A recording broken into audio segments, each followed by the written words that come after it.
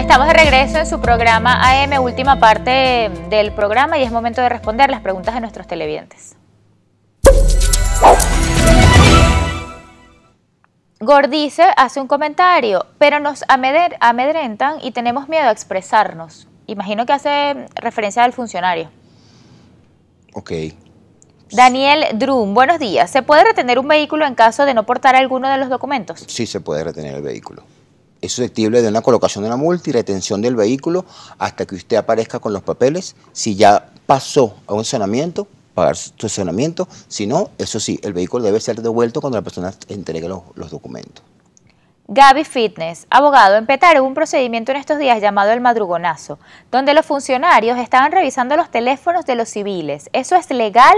Y si no es legal, ¿en qué artículo me puedo amparar? Ok, eh, primero que todo no es legal, tiene que ser bajo una orden de un juez, ¿verdad? Eh, bueno, el, el, artículo constitucional creo que es el 28 que establece que las comunicaciones son inviolables y privadas en cualquiera de sus formas. No recuerdo bien el artículo, pero está en la Constitución. Sí, es 48 creo que es. Claro, pero el ciudadano está indefenso porque si un funcionario me pide el celular y yo le digo que me ampara el artículo, igual y si me obliga a darlo, Sí, ¿quién me protege en ese caso? ¿Qué es lo que pasa? Fíjate tú. En ese momento, una de la mañana, dos de la mañana, al acabar la móvil, yo recomiendo no te pongas a pelear con el funcionario. Tú le haces saber que no puede. Si insiste, se lo das. Porque te quiero decir algo. Lo que ese funcionario consiga allí, que no va a conseguir nada. Todo eso es infértil a la hora de un juicio oral y público. O sea, tú entregas, si tú te lo entregas, ¿qué vas a, qué vas a ver tú allí? Porque te repito, lo que se consiga allí no, no se va a servir para prueba, para un, event- un eventual juicio oral y público o para una posible investigación o imputación en tu contra, porque fue arrebatado de una manera no legal. Ok. Eso es lo que llamamos en derecho la teoría del fruto del árbol envenenado, que todo lo que provenga de él viene envenenado.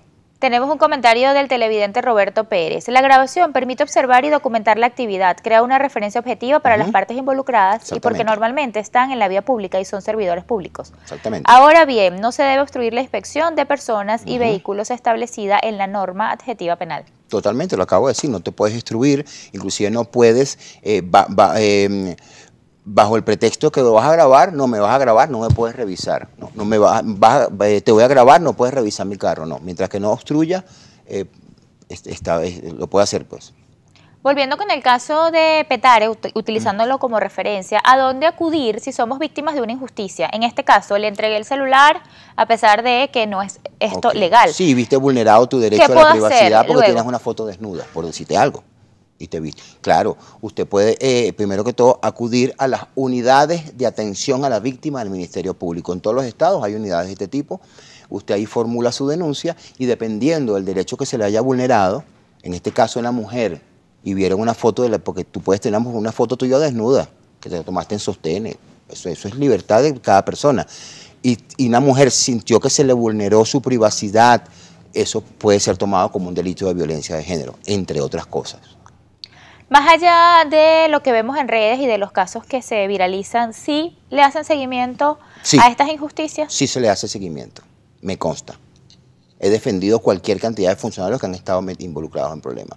Así como yo también me, eh, me he visto involucrado en acusación a funcionarios por bueno, víctimas que me acuden en- a mí. Pero sí, este funciona y funciona muy bien, créeme. Ahorita con el tema de las redes sociales, este, porque es, es muy fácil probar muchísimas cosas. pues. Pero sí, sí se, hace, sí se le hace seguimiento y sí se condenan a los funcionarios, sí se le amonestan, sí tienen sus sanciones penales, civiles, administrativas. O sea, me consta, o sea, no estoy inventando. Abogado, ya para finalizar, ¿cuál pudiera ser la clave para que los ciudadanos recuperen la confianza que se ha perdido en los entes policiales? Bueno, primero que todo, quiero eh, seguir educando a la colectividad. Señores, tengan sus papeles en regla. No se coman la luz, no se coman la flecha, no pasen por el rayado, sean mejores ciudadanos, primero que todo, ¿verdad? Eh, y bueno, con, con el tema de, los, eh, de los funcionarios, mira, lo digo con orgullo, yo siempre bajo a Vargas, ¿no? En, Vargas tú te accidentas a la autopista, de los 10 minutos llegan los funcionarios, los guardias nacionales a auxiliarte. Y eso ha pasado. O sea, hay, que también que, hay que resaltar, los funcionarios están haciendo un trabajo por mejorar. Tenemos que entender también, no los estoy justificando, cuál es el sueldo de un funcionario policial. O sea, tenemos que, también ser un poco empáticos.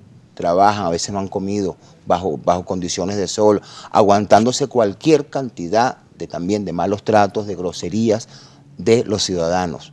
Entonces yo sí siento que están haciendo un gran esfuerzo.